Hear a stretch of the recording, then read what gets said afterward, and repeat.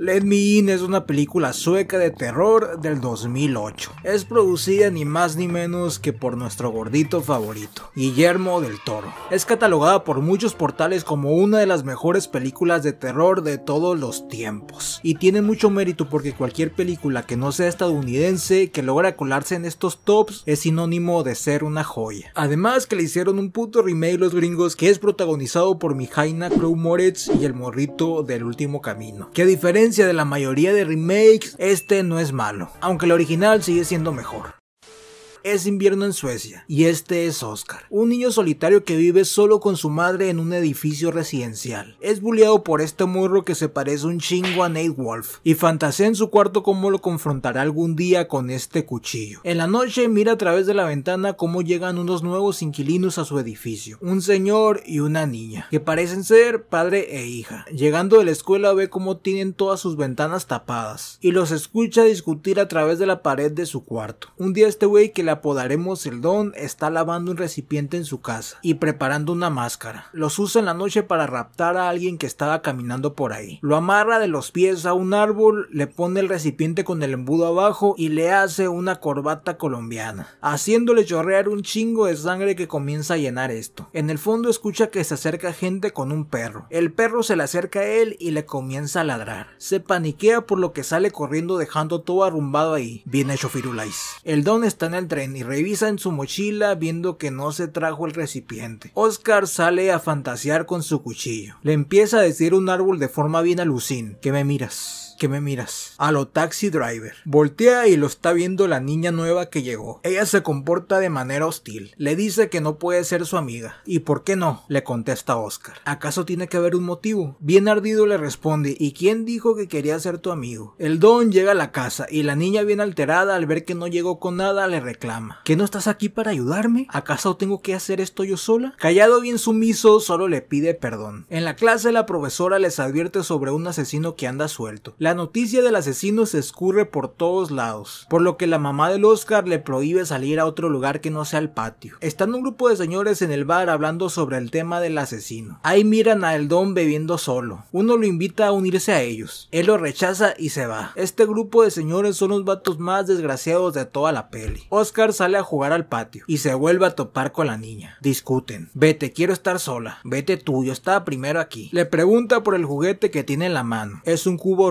Le explica cómo se juega. Te lo presto, me lo devuelves pasado mañana. Se le queda mirando y le dice, hueles raro. ¿No tienes frío? No, supongo que lo olvidé. Oscar se va y ella se queda con cara de como si se estuviera cagando. Llega la noche. Un gordito que está en el bar se la topa abajo de un puente. Le ofrece ayuda, la carga. Y ella lo ataca brutalmente chupándole toda la sangre. Por esta acción la regaña el don en su casa, ya que si mata gente cerca de ahí descubrirán que son ellos los asesinos. Sale para llevar el cuerpo a un pozo de aguas termales. Lo avienta ahí para no dejar rastros. Pero no contaba con que otro gordito amigo del gordito asesinado vio desde lejos cómo lo atacó la niña. Medio traumado llega a su casa que está llena de gatos. Y después va corriendo a decirle a sus amigos. Llegan al lugar del crimen pero ya no había nada, solo sangre. Dos días después Oscar ve el cubo completado. La próxima vez que se vuelven a encontrar le pregunta cómo lo hizo. Ella le contesta con otra pregunta. ¿Ya vuelo mejor? Oscar se hace pendejo y no contesta. ¿Cómo te llamas? Illy. Hablan sobre su edad. Ella no sabe cuántos años tiene y también dice que no le han festejado nunca su cumpleaños. Ambos tienen más similitudes de lo que parece. Vienen de familias disfuncionales por así decirlo y viven una infancia solitaria. Una por su condición y el otro por ser un marginado. Empieza a haber más interés por parte de ella. La primera vez que se vieron se veía toda chamagosa como niño de colonia marginada, pero en la segunda ocasión se ve bañada y arreglada. Por eso le pregunto otra vez el ya huelo bien porque quiere agradarle a Oscar. Está en la escuela, termina la clase, se hace pendejo a que todos se vayan para que cuando salga no estén los bullies ahí. Pero esto vale verga porque lo están esperando de todos modos. Lo agarran entre cuatro y uno le pega chicotazos. Le da uno en la cara por accidente y lo corta. Ahora nos va a acusar con su mamá. Salen corriendo. Oscar no los acusa, le dice a su jefa que se cayó. Ay, mijo, ten más cuidado. Platicando con Illy le pregunta sobre la herida. A ella sí le dice la verdad. Le da el consejo que les devuelva el golpe con toda su fuerza y ya no lo molestarán. Y si no es suficiente, ella le ayuda. Todo esto mientras el don los observa. Qué perro miedo. Ya en su casa hablan en código Morse a través de las paredes. Oscar decide ponerse más fuerte para cuando llegue el día putear a esos morros. Va a la feria con Illy y compra unos dulces. Le ofrece. Ella se niega pero por cordialidad toma uno. Lo come. Esto la hace vomitar. Él la abraza. Oscar, ¿yo te gusto? Sí, mucho. ¿Y si no fuera una chica, te seguiría gustando? Supongo que sí. ¿Por qué lo preguntas? Me da mucha ternura cómo manejan la relación de ambos. Muestran el amor de una manera pura. De un niño inocente hacia algo que no sabe lo que es. Solo sabe que la ama y para él eso es suficiente. Oscar pasa todo el día con su padre, que parece vivir en el medio de la puta nada. Por su lado, el don le pide a Illy que si le hace el favor de no verse con el chico esa noche. Acepta. Está rara la relación de estos dos. Lucen como padre e hija, pero ella se comporta como la líder y él como el subordinado. Justo en esta parte ella le toca la cara y hace como un cachorrito. Él está en la ventana del entrenamiento de los pibes a lo Michael Myers, visualizando su próxima víctima. Cuando se van casi todos, logra enganchar al último hacia el vestidor. Lo está preparando. Todo se le complica porque le apagan la luz. La víctima grita y todos se alertan de que está ahí. Le tocan la puerta y la ventana. Como método de escape y para que no lo reconozcan, se avienta ácido a la jeta. Esto para que no sepan su identidad y al no saber su cara no sabrán dónde vive, por lo tanto no irán a por Illy. Los bullies le ponen el pantalón en un urinal a Oscar. Se va en chones a su casa. Illy visita a su padre al hospital, el cual fue llevado a emergencias por la policía después de encontrarlo con la cara deformada. No la dejan entrar ya que a pesar de estar hospitalizado es un criminal. Se sale y sube por afuera. Él con la cara desfigurada la mira. Abre la ventana. Le chupa la sangre y se cae. Le toca la ventana a Oscar. Déjame entrar, lo dijo. Déjame entrar, pero no me mires. Está bien, puedes entrar. Ella se desnuda y se acuesta atrás de Oscar. Estás fría. ¿Quieres ir en serio? Pero no soy una chica. ¿Pero quieres que esto vaya en serio? Y al ir en serio, ¿todo seguirá igual entre nosotros? Sí, entonces sí quiero. Si se han dado cuenta, repite siempre el no soy una niña. También puede ser una metáfora barra crítica hacia el mundo de ese entonces donde se veía la homosexualidad como algo del diablo. A Illy como el tabú de la persona a la cual no puedes amar por no ser una niña y a Oscar el que la ama con esa inocencia de un niño que todavía no tiene en su cabeza la presión de lo que está socialmente mal visto. Cuando despierta ya no está, pero hay algo escrito con un corazón en su escritorio. Va a una excursión de esquí con su escuela. Los bullies lo apartan de todos para molestarlo. Él los amenaza con un palo. Si intentas hacer algo, te golpearé. De repente te volviste valiente. Se acerca y le pega el palazo. Le chinga la oreja. Llora, la profe se da cuenta y se hace un desmadre. Ah, también unos niños encuentran un cuerpo mientras miaban por ahí. Específicamente el cuerpo del gordito que mató a la niña. Llegando a la casa su jefa lo regaña por chingarse al morro. En clase de natación, Illy lo espera a que salga. La lleva a su lugar secreto y le dice lo que le hizo a su bully. Lo felicita. Él, sin que ella se dé cuenta, se corta la mano para hacer ese juramento de amor. Pero esto le activa los instintos y se transforma de inmediato. Le pide que se largue. Sale corriendo de ahí y se chupa a la primera doña que ve porque estaba desesperada por sangre, la cual resulta ser parte del mismo grupo de señores en el bar. La logra espantar su esposo. Cuando se recupera se siente extraño. Oscar está en la casa de su padre jugando con él, a lo que llega un tipo y comienza a tomar con él. Aquí está más presente la incomodidad que siente Oscar con su entorno familiar. No está a gusto ni con su padre ni con su madre, ni qué decir en la escuela, solo se siente bien con Illy. La doña a la que mordió está desesperada por sangre. Sale a buscar pero no hay nada. Ve las luces de una casa encendida y entra para ver si encuentra algo. Resulta ser la casa llena de gatos, los cuales la atacan. Se la llevan al hospital donde la amarran. Ya sé que es una película seria, pero justamente esta escena está bien cagada. Se ve bien curseado como sale corriendo con todos los pinches gatos pegados. Oscar va a ver a Illy después de que la vio convertirse en vampiro. ¿Estás muerta? No. ¿Eres vieja? Tengo 12, pero desde hace mucho tiempo. Le enseña su casa. Él piensa que es pobre, pero ella le enseña un huevo con el que si lo vende se hace millonaria. Me tengo que ir porque mañana voy a levantarme temprano para repartir periódicos. Si ocupas dinero yo te doy. Es el dinero que has conseguido matando gente, ¿verdad? No, me lo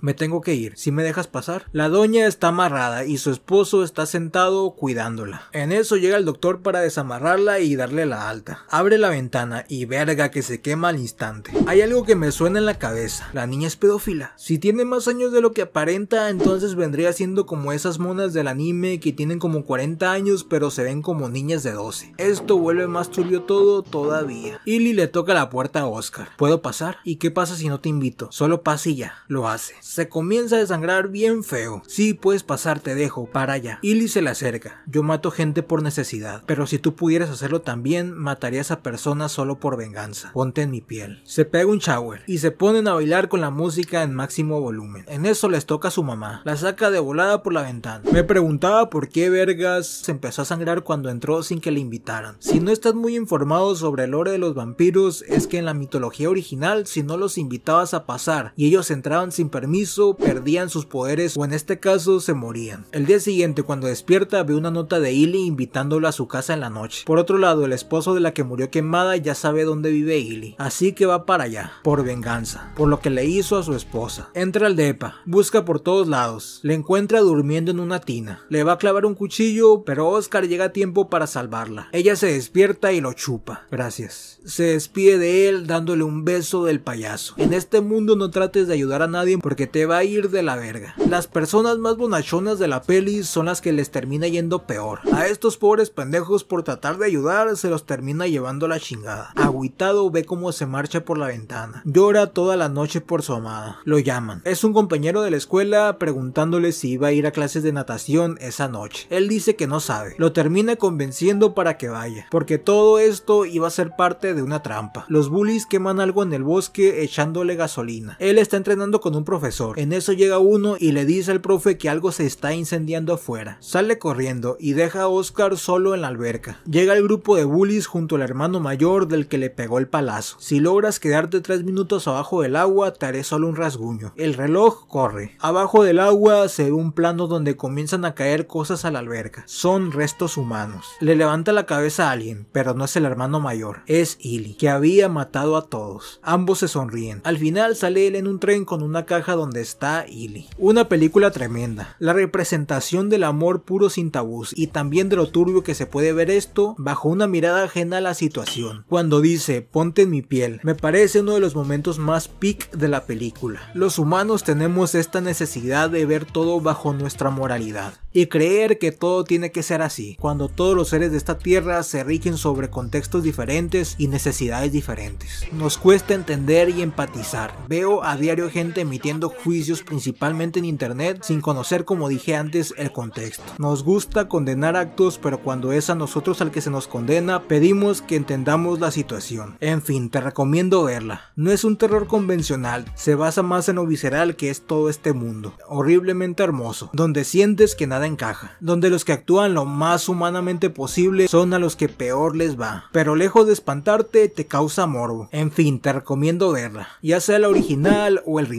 En lo personal prefiero la original, se me hace más inmersiva y realista, por el simple hecho de ubicarse en Suecia.